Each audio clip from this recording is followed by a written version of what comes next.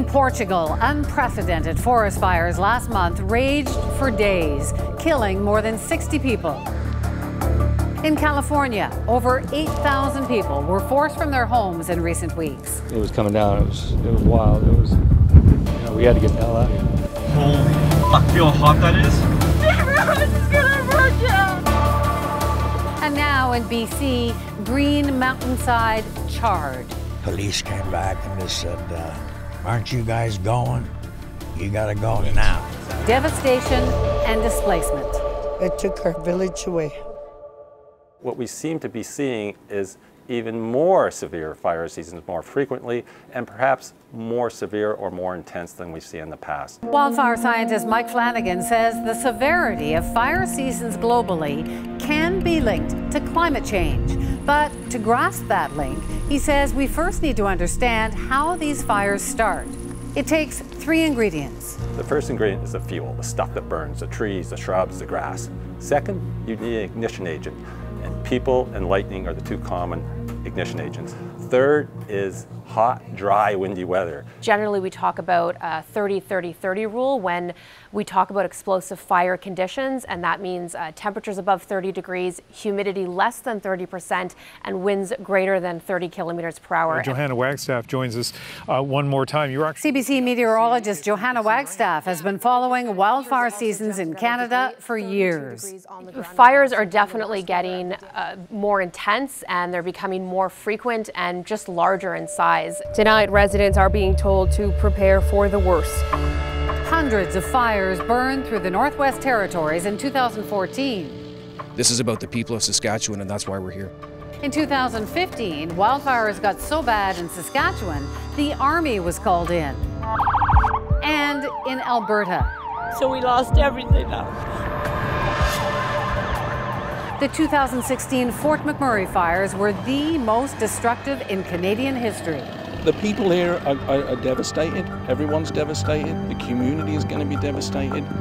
Wagstaff says all of these cases, including BC, can be connected to a warming climate.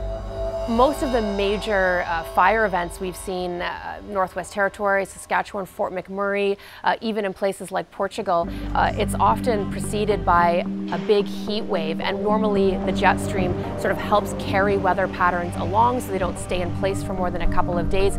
But a warming climate is actually leading to these jet streams uh, getting locked in place for days or weeks on end. And that's the, often the case for big fire situations, hot and dry for weeks on end. Another factor fueling recent wildfire seasons may be winters that are wetter than usual.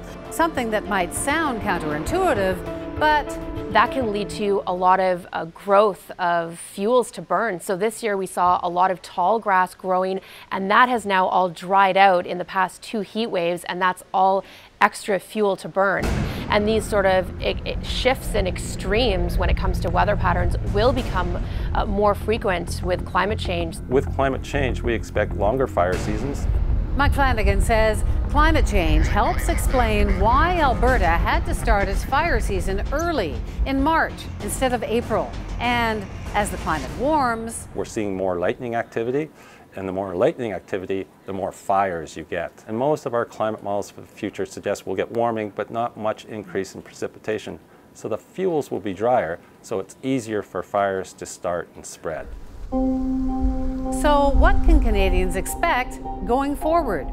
We have to keep in mind is that fire is a natural part of our Canadian forests. People live, work, play in the forest, and you get this intersection between fire and people with disastrous results at times. We are going to see longer fire seasons, larger fires, more intense fires, uh, but in all of the modeling, uh, when, it, when we look at climate change in the future, there are different scenarios. So even though our next sort of three decades are locked in based on the emissions that we've already put into the atmosphere, uh, beyond 2050, we can make a lot of changes. And I, I think in combination with how we manage fires, uh, that can have a, a big impact on how bad our seasons are in the future.